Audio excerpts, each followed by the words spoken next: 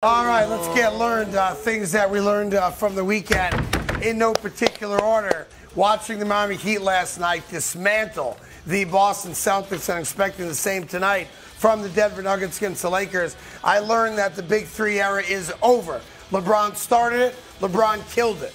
You only need one superstar now and a full team of guys that understand and accept their very specific role. You know what? And I think that it's going to be a new culture in the NBA. You just get five or six other guys to just go, come out here and play. And Why are you well. shaking your head? Uh, because I 100% disagree. Okay. I 100% disagree. Simply because you don't have, like, we're underestimating how important and how valuable Jimmy Butler has been. Like, you don't have, superstars aren't all built like Jimmy Butler.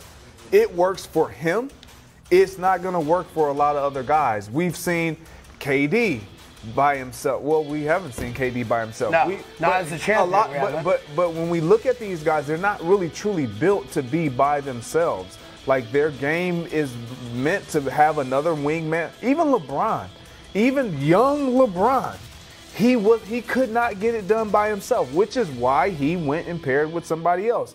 It's this is just an anomaly.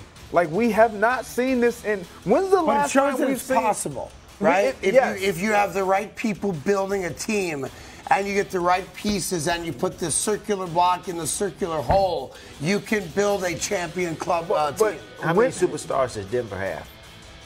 They got two. Okay.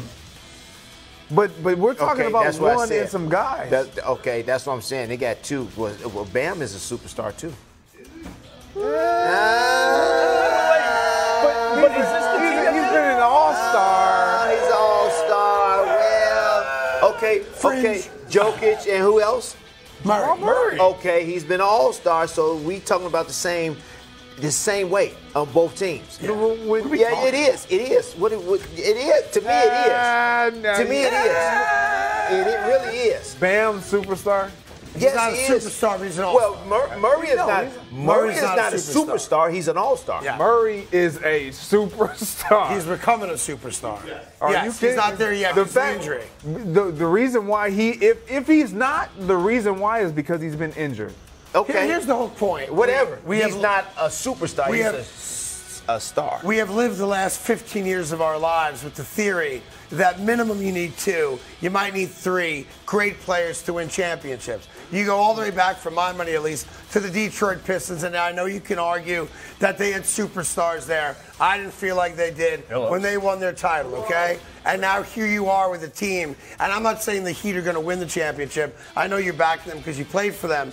They're going to have a tough sledding against the Denver Oh, no Nuggets, question they're have obviously. Now, if they want it, this is a crazy year, maybe they can do it. The question now, if I'm an owner, do I need to go out there and find three max guys to win a championship? Or do I just have to hire the right general manager that knows how to put together a very good team? You certainly need one guy. You mm-hmm. need a focal point of your team.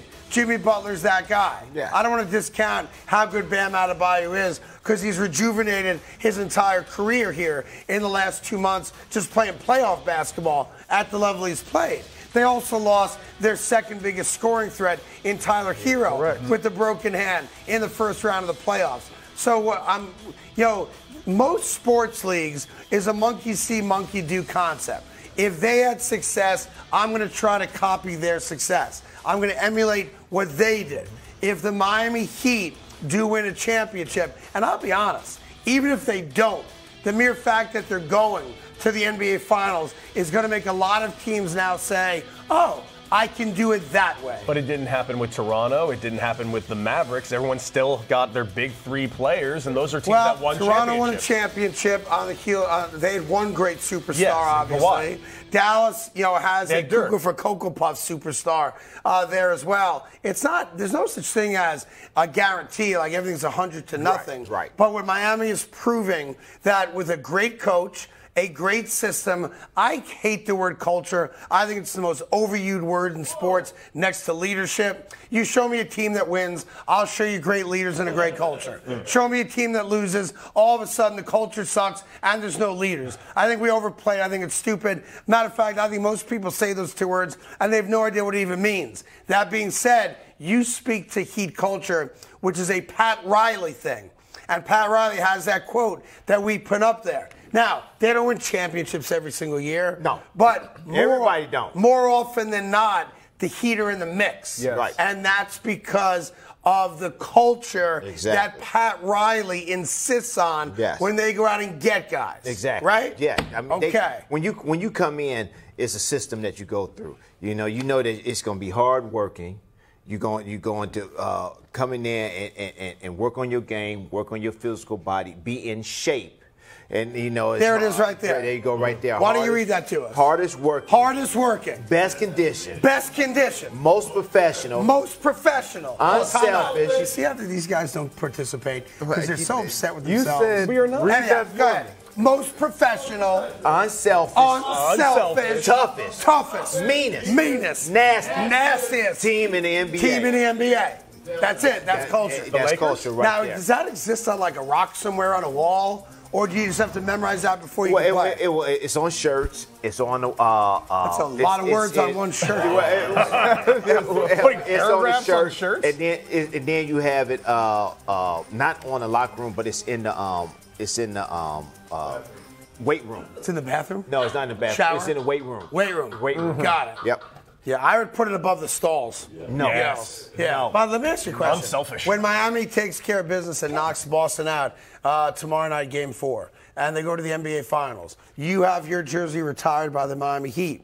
Is there a chance that we're getting a call? Hey guys, can't work tomorrow. I was invited to be a part of the NBA Finals down in Miami. It could happen. That could happen. It could happen. it's happen. on the table. Yes. It, uh, I Okay, mean, it if I happen. may, if I may, if, if I may. Me- if I may too. No, no, you stop it. If No, I no. may too. I'm getting it first. If they tell you you're a plus one, who's your plus one? My wife. Okay. Non-family, who's your plus one? Come on, please say me, please say me, please say me, please say me. You don't have Nah, to say it. fam. You don't, oh, you, you, I dropped my have group. Okay. Yeah. You don't have to I'm not tell going to say it. Yeah. They're not going to put no peer pressure on Exactly. me. Yeah, I it would- won't be one of them, though. Exactly. It will not It won't be, be one, one of of them. them. Right. How does Exactly. Tim Hardaway not get invited back for an NBA Final home game? You've got to be there. How many other numbers are retired in Miami Heat history? Three, four. Well, I mean, Jordan's is, but that doesn't count. No, it's uh, Dwayne, Dwayne uh, Wade, you, Chris Bosh, myself, Bosh's Shaq. numbers retired. Yeah. What are we doing? Zo. Chris Bosh? Yes. Come on. That doesn't make no sense at all. Anyhow, getting back to things I learned this weekend. Chris Bosh, he's there for two years.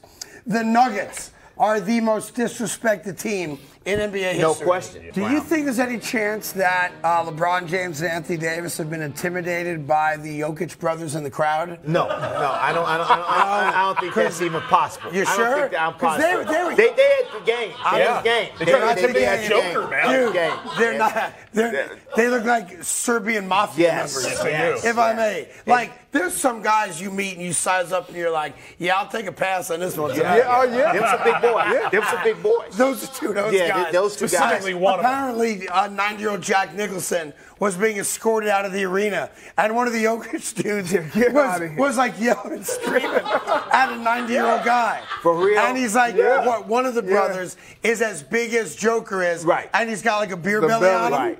It's he's like uh, he's like a bouncer at a Serbian bar. You may not come in. no, no, but I'm but I'm 21. I said no. okay. Your money no good. No joke. He's like, give the man his money. Yeah. I'm like, yes, sir. Yeah. You avoid those guys. Yeah, you avoid those guys. I was guys. at some underground card games with guys like that. And- and- Yeah, and- you, and you know, they- you, know you say to those guys? Yes, sir. Yeah. No, sir. That's all you ever say. they like their beer too. yes, they do. like they beer. drink beer, they smoke cigarettes, Yes. and they beat up 90 year old actors. Yes. It is crazy. Yeah. No joke. No joke. they, they, they better not mess with uh, Jack Nicholson. Nobody messes with Jack. No better. one. You better Right? not. You There better you go. not. That's the All right. Joker, man. You're gonna have, Um, have problems. How about this for something I learned this weekend? Despite the fact he doesn't get a lot of love for it, Erik Spoelstra might be the best coach of a generation. Wow. Yes, you know he doesn't get credit for a lot of things. They just talk about him when you see him on TV.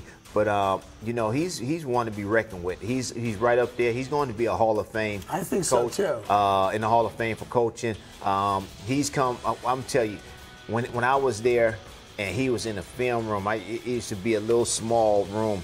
And it used to be hot in there because of all the VCRs and everything he had to do and watch. VCR. VCRs, yes sir. They played in the we- 80s. Yeah, we played in the 90s. A lot You, are you one of those guys that you have one of those old school video cameras where you had to carry like the suitcase on your shoulder and the line was attached to the camera? Come on, kid, smile for daddy. I, didn't have. I did not have that. My my, my father had, that. but I didn't. You know, it, it, it, we had. I mean, it, it was something new. Now you can hold it on your shoulder and feel like this. Now you can just a phone now. Yep. But yeah, but no, he um. You know, Spoelstra's great though. he's a great. He, he understand guys. Can He we put those players. stats back up? Yeah. His, uh, you have his coaching record, guys. If you don't 15 mind, put that back up. He uh, 15 years, Look at that. 700 wins.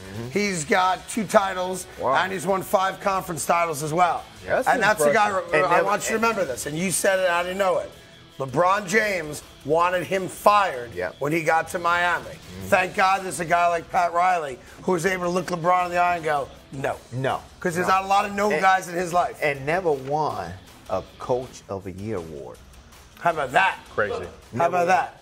Has never been coach of the year. Hey there, thank you so much for watching The Carton Show. You can subscribe right here to get all the latest bits and segments from the show. And by the way, while you're at it, we have a lot of great shows on FS1, so check them out too.